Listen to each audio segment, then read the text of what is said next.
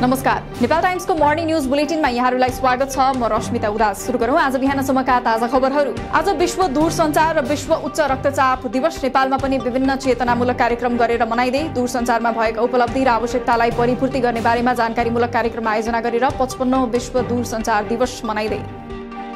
प्रमुख प्रतिपक्ष काङ्ग्रेसको अवरोधका बीच संसद बैठक सुचारू गरेपछि संसद बैठकमा काङ्ग्रेस र एमालेका सांसद बीच धकेला धकेल। एमाले अध्यक्ष केपी शर्मा ओलीमाथि काङ्ग्रेसबाट दुर्व्यवहार भएको एमालेको भनाई। काङ्ग्रेसले माफी माग्नुपर्ने माओवादीको माग संसद बैठक आजसम्मका लागि स्थगित। अब संसदीय समिति नबन्ने राष्ट्रिय स्वतन्त्र पार्टी राष्ट्रपाका सहप्रवक्ता मनिष झाको भनाई। काङ्ग्रेस सभापति देउबाका साथै उनका श्रीमती र छोराको पनि छानबिन गर्नुपर्ने अवस्थामा मात्रै छानबिन समिति बन्ने प्रस्तुति। काङ्ग्रेसको अवरोधपछि राष्ट्रसभाको बैठक स्थगित। राष्ट्रिय सभाको बैठक आज दिउँसो एक बजेर पन्ध्र मिनटमा बस्दै सहकारी प्रकरणमा गृहमन्त्री रवि लामी छाने जोडिएको भन्दै संसदीय छानबिन समिति गठनको अडान कायमे। हज यात्रीको विदाईपछि गृहमन्त्री रवि लामी छानेले गरे त्रिभुवन अन्तर्राष्ट्रिय विमानस्थलका विभिन्न क्षेत्रको अनुगमन आगमन र प्रस्थान कक्षको सौन्दर्यकरणमा पनि ध्यान दिन गृहमन्त्री लामी छानेको निर्देशन।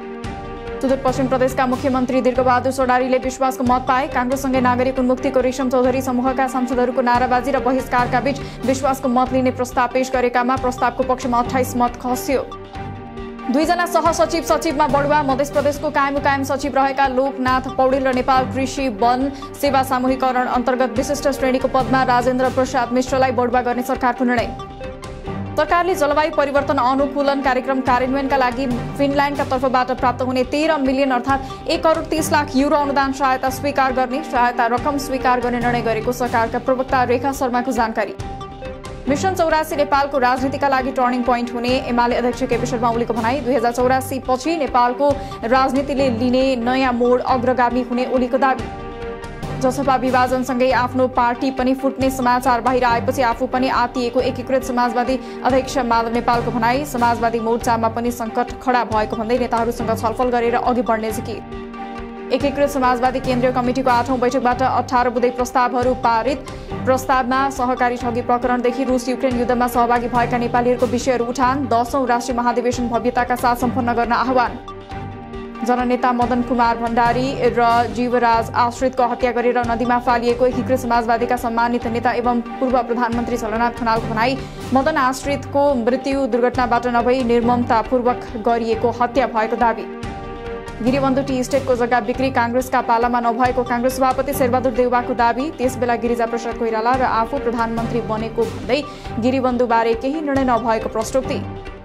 अल्पमतमा रहेको मध्य प्रदेश सरकार जोगाउन जसपा नेपालले सहकार्यका लागि काङ्ग्रेस र लोकसभासँग संवाद जारी राख्ने दुई पार्टीको समर्थन लिई यही सरकार टिकाइराख्न हर सम्भव कोसिस गर्ने निर्णय। आफ्नो नवगठित पार्टीको सम्बन्धमा सर्वोच्च अदालतले दिएको आदेश न्यायोचित भएको जसपा अध्यक्ष अशोक राईको भनाई सर्वोच्च अदालतको आदेश आफूहरूले अपेक्षा गरे अनुरूप नै आएको दावी। अपाङ्गता भएका व्यक्तिहरूको प्रदर्शनमा प्रहरीले अत्यधिक बल प्रयोग गरेको भन्दै मानव अधिकार आयोगको ध्यान आकर्षण सम्झौताहरूको कार्यान्वयनमा जोड दिन घाइतेहरूको निशुल्क र प्रभावकारी उपचार गर्न एवं शान्तिपूर्ण रूपमा प्रदर्शन गर्न पाउने नागरिकको अधिकारको सम्मान र संरक्षण गर्न आग्रह। प्रधानमन्त्री प्रचण्डको राजीनामा सहित चार बुधे माग राखेर छ दिन अघि अनसन थालेका प्राध्यापक डाक्टर गोविन्द केसीले तोडे आमरण अनसन अनैतिक शासकहरूको अगाडि नैतिक याचना फगत याचनाको रूपमा देखिएको भन्दै अनसन स्थगित। रूपन्देहीको मर्चवारमा मृत्यु भएको भन्दै परिवारले अन्त्येष्टि गरिसकेको एक महिलाको शवलाई प्रहरीले पाँच दिनपछि कब्रस्थानबाट खनेर निकाल्यो। मृत्यु शङ्कास्पद भएको भन्दै मृतकका दाजुले परिवारको यातनाका कारण भएको भन्दै प्रहरीमा जाहेरी दिएपछि अनुसन्धान सुरु। डोटी राजपुरमा स्वास्थ्य शिविर सञ्चालन गरी ठगी गरेको आरोपमा डाक्टर सहित चौवालिस वर्ष भूपेन्द्र बहादुर छेत्री र सहयोगी छयालिस वर्ष पुष्कर गुनियाल पक्राउ। दुवैजना विरुद्ध मुद्दा दर्ता भई पाँच दिनको म्याथप गरेर अनुसन्धान जारी। सात करोड छ्यानब्बे लाख बिस हजार मूल्य बराबरको कोकिन सहित अन्तर्राष्ट्रिय गिरोहका सदस्य तीन विदेशी महिला पक्राउ नेपाललाई ट्रान्जिट बनाएर तेस्रो मुलुक लैजान लागि कोकिन बरामद गरिएको प्रहरीको भनाई पेटभित्रबाट निकालियो क्याप्स्युल नक्कली लाइसेन्स प्रकरणमा पक्राउ पर्नेको संख्या एघार पुग्यो सल्यानमा कार्यरत कम्प्युटर अपरेटर गणेश भण्डारी र बिहिबार काठमाडौँको यातायात व्यवस्था विभागमा कार्यरत कर्मचारी दिपा नेउपाने बुधबार पक्राउ दाङको तुलसीपुरकी सैतिस वर्षीय लीला पाण्डे युएमा महिना दिन यता बेपत्ता। युएमा वैशाख चार गते राति परेको भारी वर्षापछि बेपत्ता भएकी पाण्डेका परिवार शोकमा। दूतावासबाट परराष्ट्र मन्त्रालयमा एक महिलाको शव फेला परेको सूचना आए पनि शनाखत हुन सकेन। सुदूरपश्चिम र लुम्बिनी प्रदेशका तराई भूभाग र मधेसमा तीन दिनसम्म तातो हावा चल्न सक्ने जल तथा मौसम विज्ञान विभागको पूर्वानुमान। केही दिनदेखि अधिकतम तापक्रम चालिस डिग्री सेल्सियस वा सोभन्दा बढी मापन। नेपाल वायु सेवा निगमका कर्मचारीलाई प्रतिफल देखिने गरी इमान्दारीपूर्वक काम गर्न पर्यटन मन्त्री हितबहादुर तामाङको निर्देशन। नियमित काममा ढिलासुस्ती नगर्न र कसैका कारण निगमलाई हानि नोक्सानी पुनः गए सोही व्यक्ति जिम्मेवार रहनेतर्फ सचेत। दस वर्षमा अठाइस सय मेगावाट विद्युत उत्पादन गर्ने लक्ष्य निजी क्षेत्रले मात्रै पूरा गर्न सक्ने विद्युत प्राधिकरणका कार्यकारी निर्देशक कुलमान घिसिङको भनाई अहिलेसम्म दस हजारसम्मको पिपिए गरेर पैँतिस सयको प्रोजेक्ट आइसकेको र निर्माणको चरणमा रहेको उल्लेख। भारतीय फुटबल टिमका कप्तान सुनिल छेत्रीले गरे अन्तर्राष्ट्रिय फुटबलबाट सन्यासको घोषणा। सामाजिक सञ्जालमा एक भिडियो मार्फत सन्यासबारे जानकारी दिँदै सुनिलले गरे आउँदो छ जुनमा कुवेतसँग भारतबाट आफ्नो अन्तिम खेल खेल्ने निर्णय।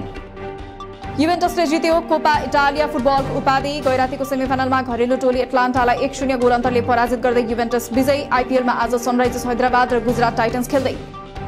अमेरिकी राष्ट्रपति जो बाइडेन र डोनाल्ड ट्रम्प राष्ट्रपतिको बहसका लागि सहमत बाइडेन र ट्रम्प बीच जुन सत्ताइस र सेप्टेम्बर दसमा दुईवटा राष्ट्रपतिको बहस हुने। प्यालेस्टाइनको सङ्कट अन्त्य गर्न अन्तर्राष्ट्रिय समुदायसँग इजिप्टका विदेश मन्त्री शामेह चौक्रीको आग्रह। दुई राज्यको समस्या समाधानका लागि आवश्यक कदम चाल्न आग्रह। विश्वका धेरै देशहरूलाई प्यालेस्टाइन राज्यलाई मान्यता दिन मनाउन प्रयास गरेको उल्लेख। गत हप्ताको भारी वर्षा र बाढीका कारण उत्तरी अफगानिस्तानको बागलान प्रान्तमा करिब चालिस हजार बालबालिकाहरू घरबारविहीन बढ्दो मृत्युको संख्या र विशेष गरी बालबालिकाहरूमा संक्रामक रोगको जोखिमको चेतावनी जारी। आज बिहानसम्मका प्रमुख खबरहरू अहिलेलाई यति नै। दिनभरका देश विदेशका ताजा विश्लेषणात्मक समाचार हेर्नका लागि नेपाल टाइम्सको अनलाइन पोर्टल फेसबुक तथा युट्युब च्यानल लाइक र सब्सक्राइब गरिदिनु भएकोमा धन्यवाद। नेपाल टाइम्स हेर्दै गर्नुहोला। नमस्कार।